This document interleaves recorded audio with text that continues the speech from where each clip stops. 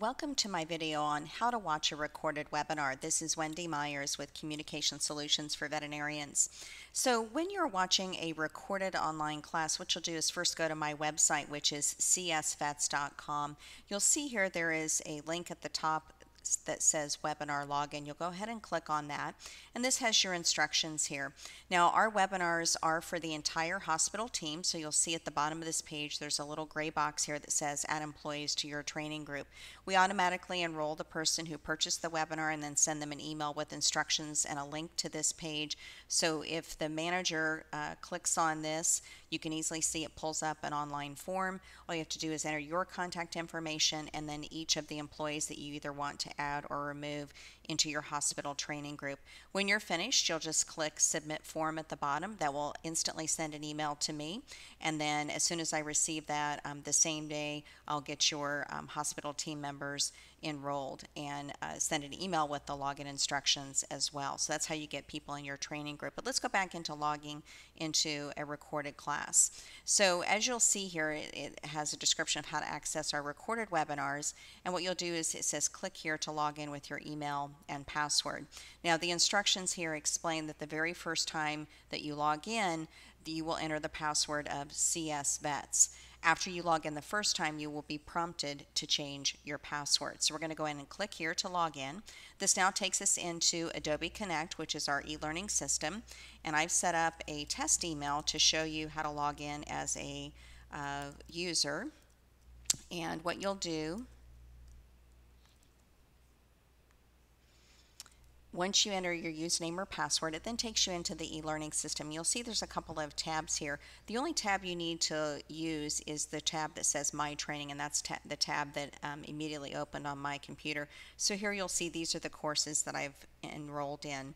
And again, it's for my entire hospital team. So we're going to look at the course here that is 10 phone skills every receptionist should know. And you'll see that I've not yet taken this course. Over here underneath the column that says score, you'll see there's a little paper airplane icon. And when I hover over that with my mouse, you'll see that it says open. So I'm going to go ahead and click on open. This now will load Adobe Connect uh, in onto um, my computer. Uh, it will make sure that you do have the latest version of Flash Player. So if it prompts you to download Adobe Flash Player, please do so. It is a safe and secure link.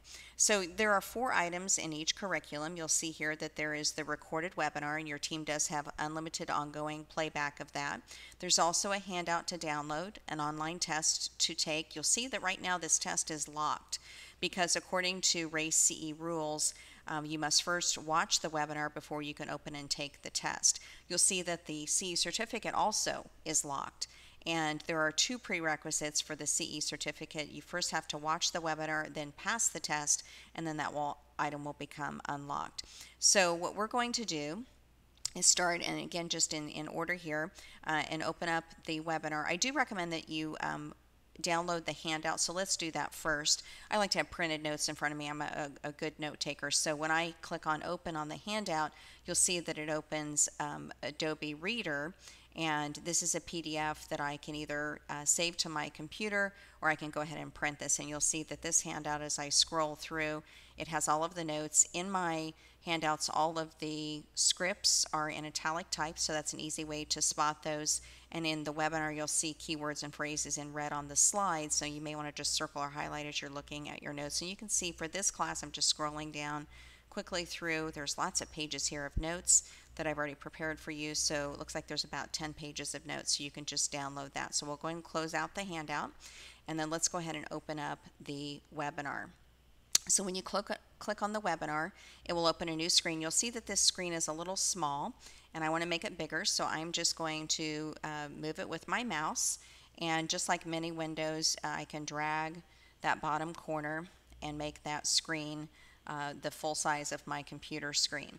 The webinar will load and it may take a few moments to load and what you'll do is, is you'll then be able to see some of the chat windows. It does say I'm in review mode, which is correct. This will not change, so just disregard this message. It just says uh, that I'm reviewing the content.